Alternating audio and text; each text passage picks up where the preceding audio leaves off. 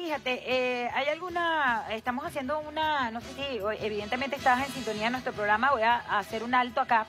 ah, para preguntar acerca de un audio que fue revelado el día domingo en el que se involucra una pareja de personajes públicos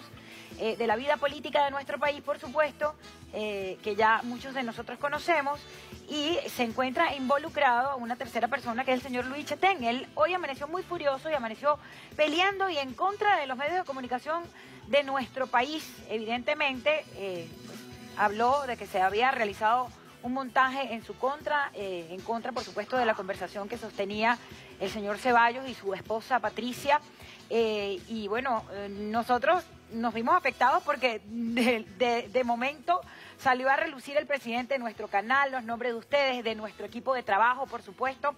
Eh, un hecho en el que no se asume la responsabilidad como debe asumirse y entonces cobardemente el señor Chatén pues se escuda en su programa de radio para despotricar precisamente de nuestro canal y de los medios de comunicación de Venezuela, refiriéndose específicamente a Roberto Mesuti, al señor, a nuestro presidente Winston Vallenilla, repito, a nuestro equipo de trabajo, por supuesto al presidente de la República y a los comunicadores sociales, nuestros compañeros de BTV. ¿Qué opinión tienen ustedes respecto a esto, querido Roberto? Bueno, fíjate tú, Fabiana, este, nosotros nuestro lema principal ha sido que para nosotros en TV la familia es lo primero y lamentablemente, bueno, mira, yo creo que nadie que en este libro de pecado que lance la primera piedra, pero nosotros como gente de televisión, como comunicadores sociales, nos hicimos eco de una noticia que realmente impactó, creo yo, a la gran mayoría de todas y todos los venezolanos, cuando lamentablemente al escarnio público salió a relucir una conversación entre un dirigente político hoy en día preso por conspirador, preso por ser responsable mm, de numerosas víctimas venezolanas, este, gracias a un llamado que se hiciera a la violencia por, eh, parte suya y, que también fue protagonista de hechos violentos en el estado Táchira, allá en San Cristóbal, y toda Venezuela escuchó donde este señor pues reclamaba a su señora esposa unos actos de infidelidad y donde sale a relucir una figura pública como Luis Chatén y que realmente, pues mira, todos nos quedamos asombrados. Repito, nosotros este, valoramos la familia, nosotros no somos nadie ni somos quienes para estar señalando a nadie. Te repito que nos hicimos eco de una noticia y lamentablemente el señor Chatén, como buen integrante del grupo del yo no fuismo venezolano, de las personas que nunca asumieron posición o nunca han tenido los pantalones de afrontar las consecuencias de sus actos, pues una vez más niega este, los hechos que son públicos y notorios, pero que no soy yo quien tendrá que decir la última palabra, pero que sí tengo que en nombre de todos los que hacemos vida en TV, pues llamar a este señor a la reflexión y decirle que es el momento, que tiene una gran oportunidad de pedir disculpas ante el país. Y digo disculpas y digo perdón porque el señor Chatén, aparte de ser una figura pública, pretende ser un, un personaje de la política de este país y por consecuencia tiene que entonces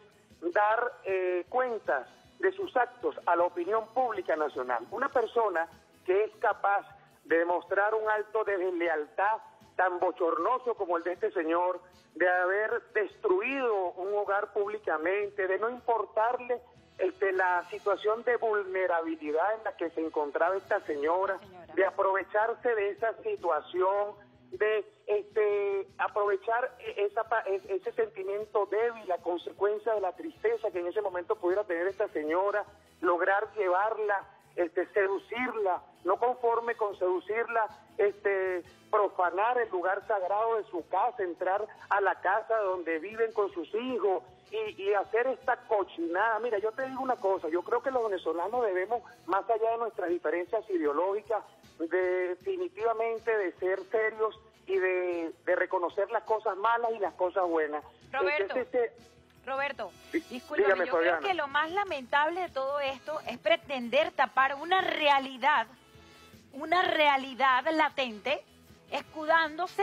y diciendo que es culpa del gobierno nacional. Cuando yo tengo un acto, cuando hago algo me responsabilizo por ese acto y no me escudo detrás de un trapito caliente, un pañito caliente, que eso sí en realidad Mira, es un pañito nosotros, el gobierno nacional y todo lo que hacemos vida pública y estamos en marcha y estamos sumando voluntades para hacer de Venezuela un mejor país, tenemos mucho trabajo como para estar viendo quién tiene relaciones con quién y quién es quién o quién es la o cual cosa. Y yo estoy convencido, por ejemplo, o estoy casi seguro que nuestro compañero Luis Chatén, al cual conocemos hace mucho tiempo, y de aquí envío un fuerte saludo, le envío un abrazo, le digo, Luis, no te pongas bravo con nosotros, nosotros hicimos esto una noticia. Pero que Tienes te, que hablar con las te mandaron a decir que te iban a enseñar a hacer otras cosas. Escúchame, escúchame esto. Este, tú eres libre de hacer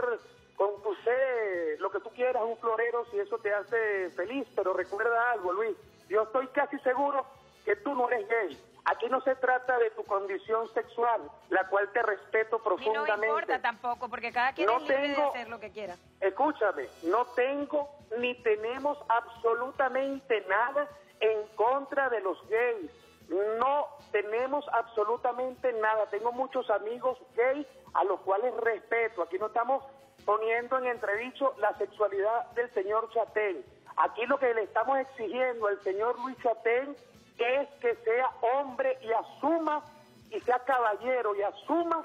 su responsabilidad ante el país y deje el doble discurso y la doble moral. Mira, Eso es lo que nosotros queremos, más Yo- nada. A ver, Roberto, Sabemos y, y- y vamos a estar claros, yo estoy seguro y convencido que la señora eh, de Ceballos, en un momento de angustia, en un momento ya de haberse dado por descubierto, en un momento ya de que no podía tapar el sol con un dedo, pues terminó diciendo que el señor Chatén era gay para de alguna manera justificarse ante su esposo, cosa que tampoco no es mi problema. Ahí hay otra- Yo no estoy diciendo, Roberto, no estoy diciendo Discúlpame, ahí hay otra lectura también que debemos hacerla y debemos ser muy responsables a la hora de hacerla. Se dice que estos señores están aislados, que no tienen derecho a, a nada, absolutamente nada, que no tienen contacto con su familia ni con el exterior.